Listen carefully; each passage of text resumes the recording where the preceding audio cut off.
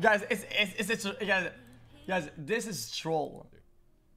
So I, Guys, guys, somebody linked this to me off stream. I didn't watch it because I thought it was troll. It's troll. like I was doing a sponsored stream believe you've done this. for Verizon, and they had me do like interstitials, which is videos promoting the sponsored stream and like the game awards and all that good stuff. months, so and Verizon. First of all, I didn't even know they were gonna put them in the actual show. I thought they were gonna put them on like Instagram or something.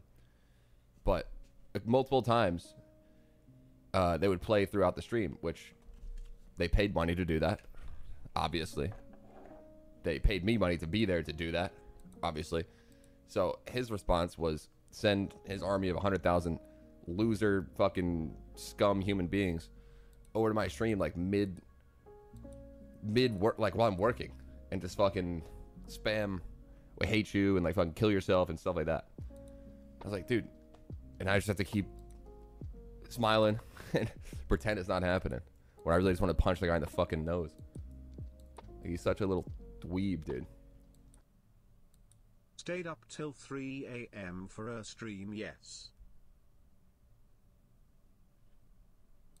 Huh? What the fuck? Guys, guys, guys.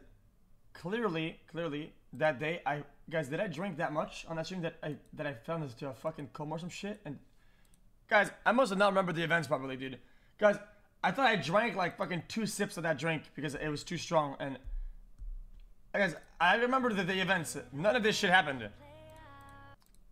What the fuck? What, the- what the fuck? So his What- response none was of the- none of this even happened. his army of 100,000